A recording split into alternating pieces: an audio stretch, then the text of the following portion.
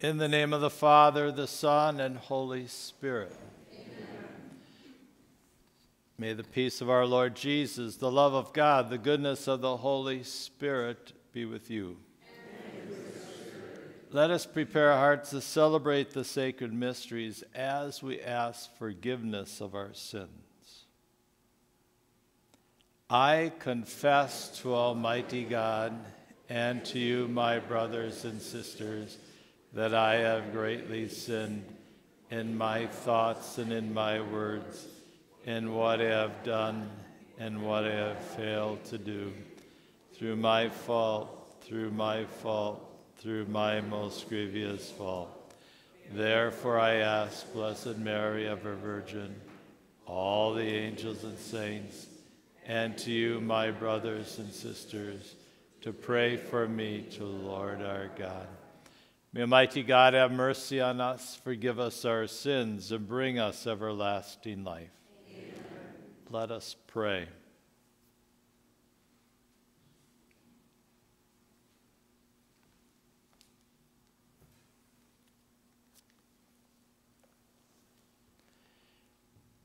May your Spirit, O Lord, we pray, bless us powerfully with spiritual gifts, that He may give us a mind pleasing to you and graciously conform us to your will.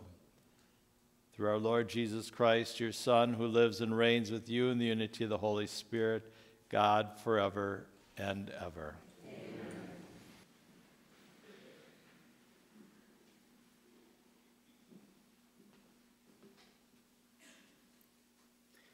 A reading from the Acts of the Apostles. Wishing to determine the truth about why Paul was being accused by the Jews, the commander freed him and ordered the chief priests and the whole Sanhedrin to convene. Then he brought Paul down and made him stand before him, before them. Paul was aware that some were Sadducees and some Pharisees.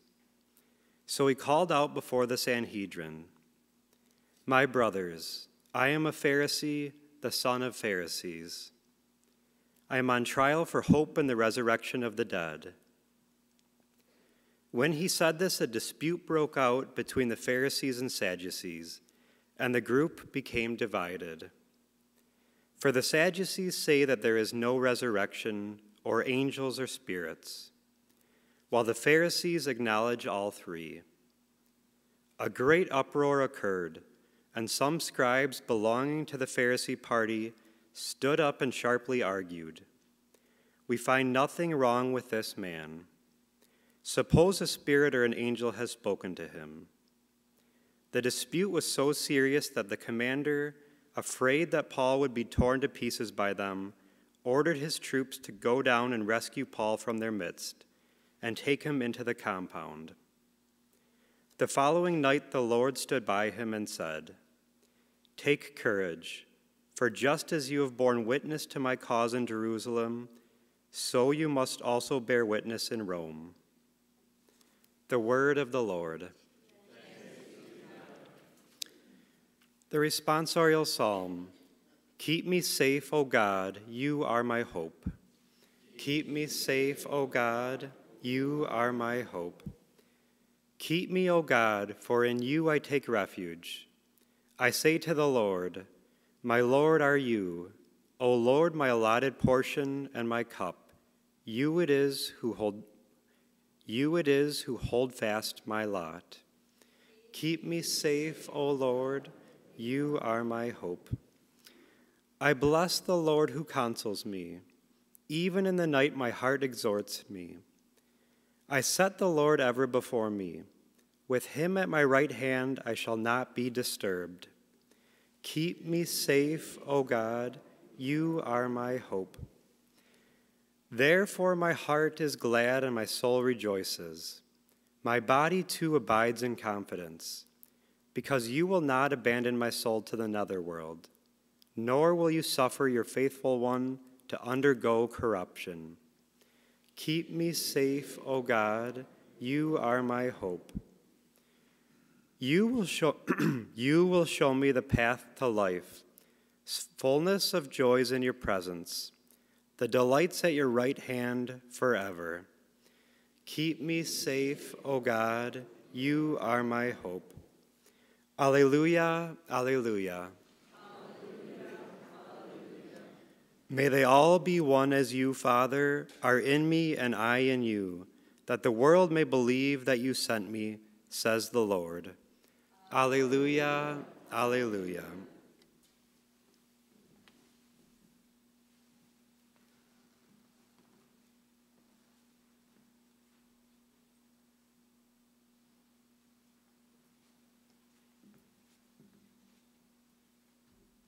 The Lord be with you. A reading from the Holy Gospel according to John.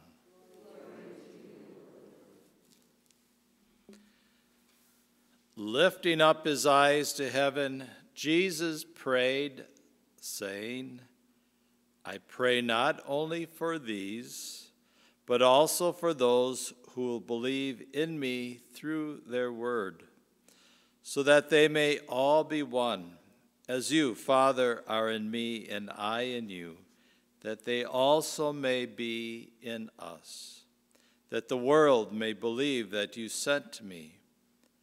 I have given them the glory you gave me, so that they may be one as we are one, I and them, and you and me, that they may be brought to perfection as one, that the world may know that you sent me, and that you love them even as you loved me.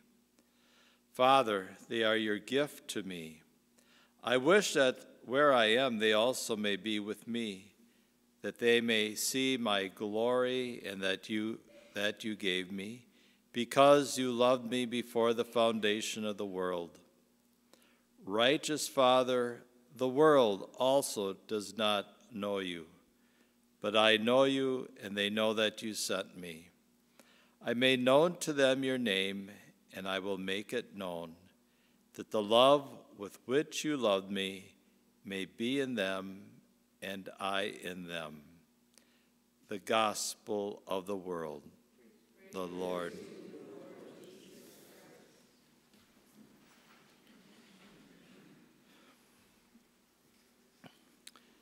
So much closer to the last day of the Easter season this Sunday, the seventh day in the Pentecost novena. Many Pentecost novena today is praying for the outpouring, the gift, the blessing of counsel.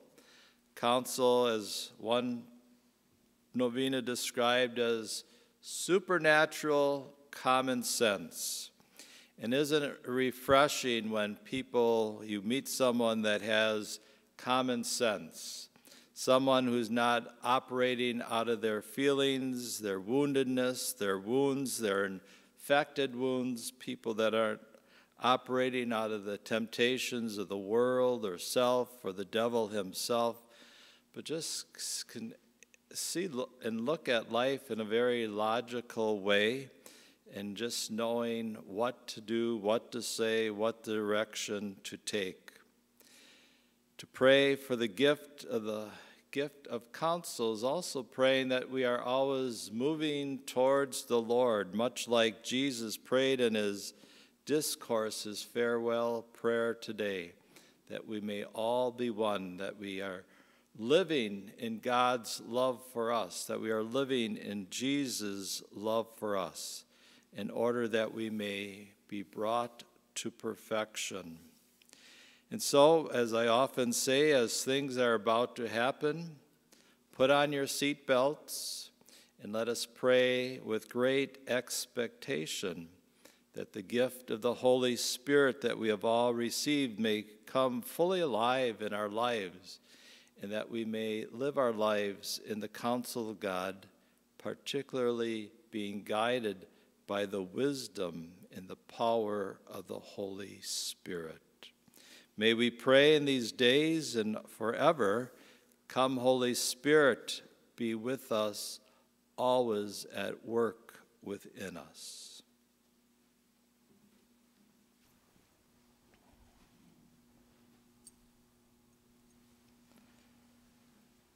In confidence of God's love and presence, we pray in confidence. For the church, may the grace of the sacraments strengthen our unity in Christ. Let us pray to the Lord. Lord, hear our prayer. For those who govern nations, may the wisdom of God guide their hearts and minds in the service of the common good. Let us pray to the Lord. Lord, hear our prayer. For all who are unjustly imprisoned, may the Holy Spirit encourage them to persevere in hope. Let us pray to the Lord. Lord, hear our prayer. For this community of worship, may the love and peace of the Lord reign in our homes and families. Let us pray to the Lord. Lord, hear our prayer. For our beloved dead, may Christ our King, our Blessed Mother, and all the other choirs of angels soon welcome them into the eternal banquet. Let us pray to the Lord. Lord, hear our prayer. For an increase in vocations to the priesthood, religious life, holy marriage, permanent diaconate, and single life, we pray. Lord, hear our prayer. For those in public office, that they may be inspired by the Holy Spirit to serve and protect all life from conception to natural death, we pray. Lord, hear our prayer. For all those remembered in our prayer petition thank you book, that through God's everlasting love they will receive the help they need, we pray. Lord, hear our prayer. And for the deceased Jim Mater and for the Mother's Day Novena for whom this Mass is offered, we pray. Lord, hear our prayer. Almighty God, through your Son Jesus, you filled us with the gift of the Holy Spirit. May the Spirit be open and operative in our life today and always, which we ask through Christ our Lord. Amen.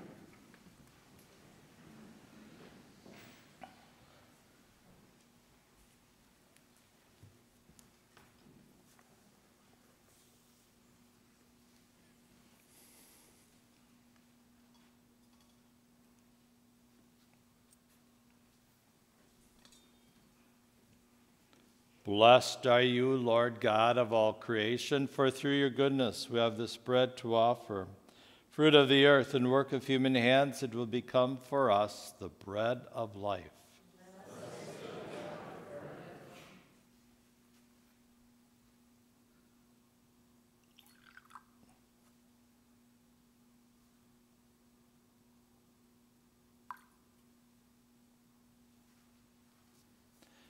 Blessed are you, Lord God of all creation, for through your goodness we have received the wine we offer you.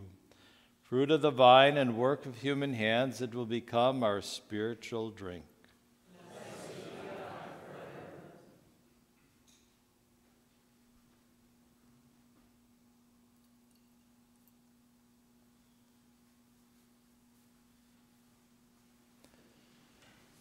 Pray, brothers and sisters, that my sacrifice and yours will be made acceptable to God, the Almighty Father.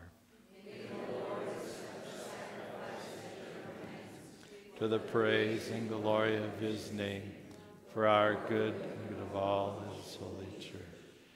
Graciously sanctify these gifts, O Lord in accepting the oblation of the spiritual sacrifice, make of us an eternal offering to you through Christ our Lord. Amen. The Lord be with you. With Lift up your hearts. Let us give thanks to the Lord our God. It is truly right and just, our duty and our salvation, always and everywhere, to give you thanks. Lord, Holy Father, Almighty and eternal God.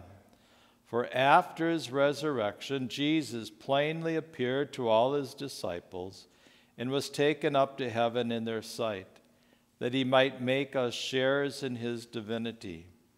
Therefore, overcome with paschal joy, every land, every people exalts in your praise. And even the heavenly powers with angelic hosts sing together the unending hymn of your glory. Holy, holy, holy Lord, God of hosts, heaven and earth are full of your glory. Hosanna in the highest. Blessed is he who comes in the name of the Lord. Hosanna in the highest.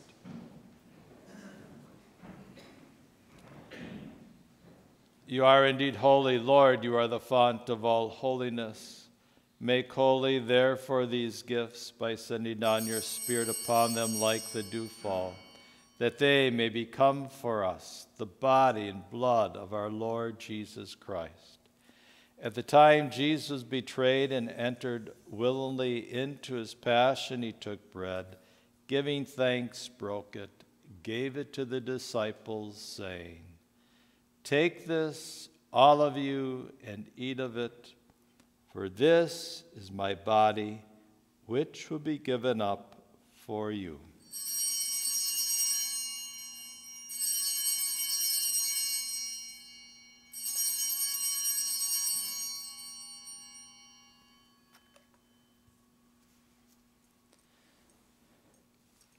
In a similar way, when supper was ended, Jesus took the chalice once more, giving thanks. He gave it to the disciples, saying, Take this, all of you, and drink from it.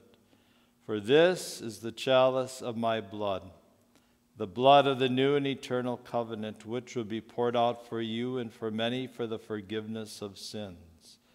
Do this in memory of me.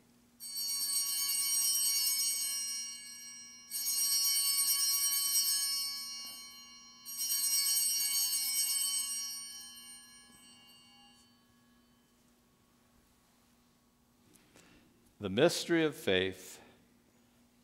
Save us, Savior of the world, for by your cross and resurrection you have set us free. Therefore, as we celebrate the memorial of his death and resurrection, we offer you, Lord, the bread of life and the chalice of salvation, giving thanks that you have held us worthy to be in your presence and minister to you. Humbly we pray that partaking of the body and blood of Christ, we may be gathered into one by the Holy Spirit. Remember, Lord, your church spread throughout the world. Bring her to the fullness of charity. Together with Francis, our Pope, Jerome, our Archbishop, and all the clergy. Remember also our brothers and sisters who have fallen asleep in the hope of the resurrection, and all who have died in your mercy welcome them into the light of your face. Have mercy on us, of the Blessed Virgin Mary, Mother of God, with blessed Joseph, her spouse, the blessed apostles, and all the saints who have pleased you throughout the ages. We may merit to be co heirs to eternal life and may praise and glorify you through your Son, Jesus Christ. Through him, with him, in him, in the unity of the Holy Spirit. All glory and honor is yours, Almighty Father, forever and ever.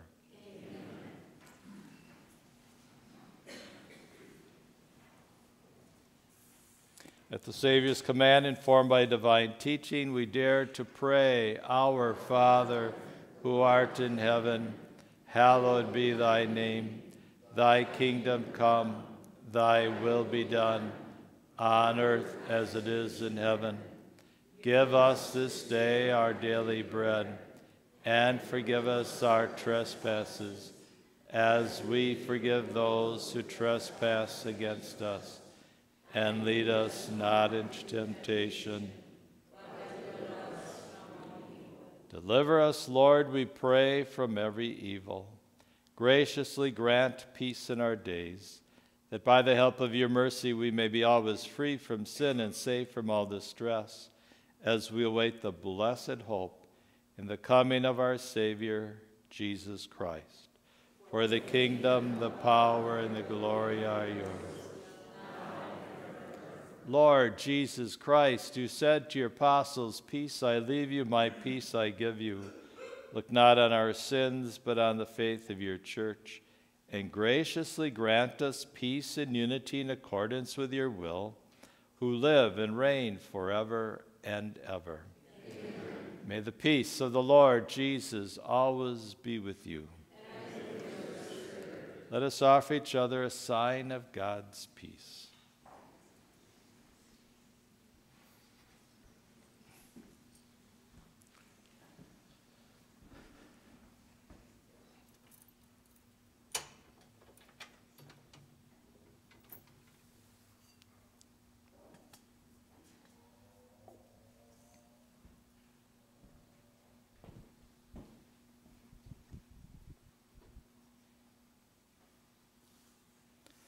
Lamb of God, you take away the sins of the world, have mercy on us. Lamb of God, you take away the sins of the world, have mercy on us. Lamb of God, you take away the sins of the world, grant us peace.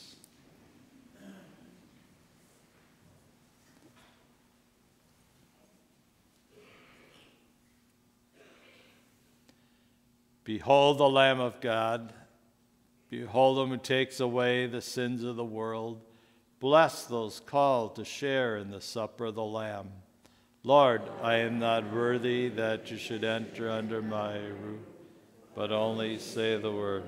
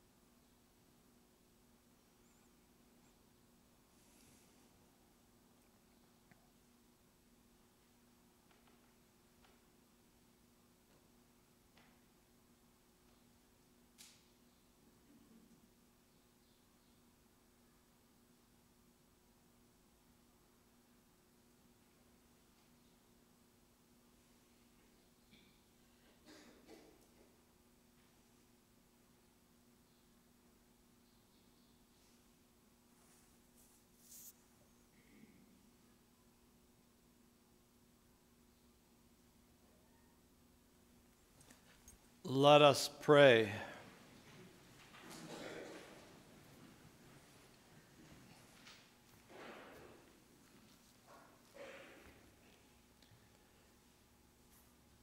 May the mysteries we have received, Lord God, enlighten us by the instruction they bring and restore us through our participation in them, that we may merit the gifts of the Spirit through Christ our Lord. Saint Michael the Archangel, defend us in battle. Be our protection against the wickedness snares of the devil. May God rebuke him, we humbly pray. And do thou, Prince of heavenly hosts, by the power of God, cast into hell Satan and all evil spirits who prowl about the world seeking the ruin of souls. Mary, help of all Christians, the Lord be with you. May Almighty God bless you, the Father, Son, and Holy Spirit. Amen. This Mass is ended. Go in God's peace. O sacrament most holy, O sacrament divine, all praise be every moment thine.